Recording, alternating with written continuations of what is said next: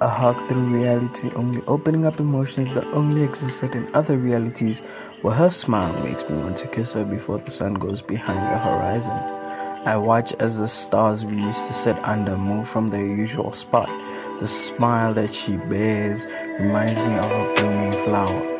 A flower she is, a flower that holds its beauty with every seasonal change, but only a few are able to see the change through the veil of reality as they walk down her path, looking into her eyes as she walks by, a flower for a flower.